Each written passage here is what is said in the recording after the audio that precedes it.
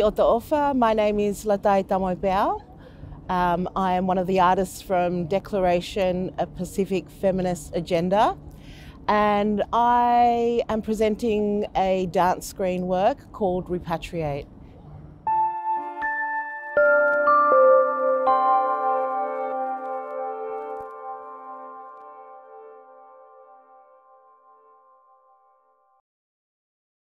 Repatriate is about the urgent call from the Pacific, specifically about the climate crisis that we are currently experiencing.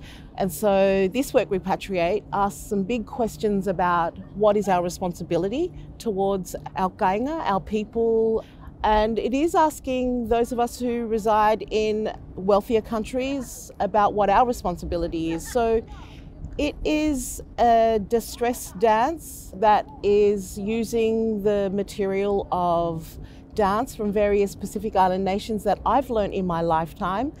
And I'm using the metaphor of whenua to present this work um, with the conditions of water rising in a tank.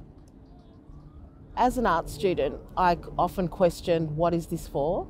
I am somebody who has a lot of empathy, a lot of compassion, a lot of politics, but I didn't understand where the where the art was going until I kind of understood what what's happening with climate change. When I think about climate change, it's it's quite a traumatizing experience to think about the loss of ancestral place, the loss of resources, um, the loss of sovereignty and belonging, specifically on vulnerable Pacific Islands and coastal communities. So for me, exploring the way that my body is experiencing climate change is the way to work with the Tongan cultural metaphor of whenua and then expand that out and in the hope that other people with their bodies are also receiving that work.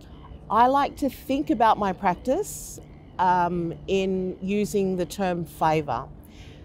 For me, Faiva is an action, it's the doing of space. Faiva actually enables me to center the body inside the work and work within other materials or other disciplines that works across silos. I have a, a saying that I've used before the more ancient I am, the more contemporary my work is. And this is an Indigenous perspective that I feel that I embody I'm not doing anything new. I'm doing the things that my ancestors were doing. I'm just using different tools that are relevant today.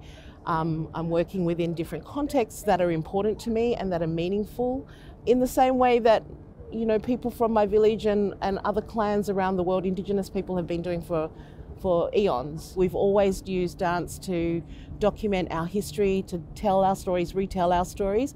But my questions are how do we tell stories about these newer issues? How can we use the same methods that our ancestors did um, to, to talk about the things that are really problematic now? And so I feel like my practice, um, particularly around my work with climate change, is is about um, making works that are in service of our community and of our place. I think the Pacific feminist agenda is something that has always been there. I think Pacific feminism is starting to come through, you know, literally come through the soil and the ocean. And we have to be there to let that, you know, permeate for us all. And that is, it's, it's a far more collective way of doing things. It's a far more empathetic way of doing things. It's a stronger way of doing things. It's a quieter way of doing things. It's a raucous way of doing things.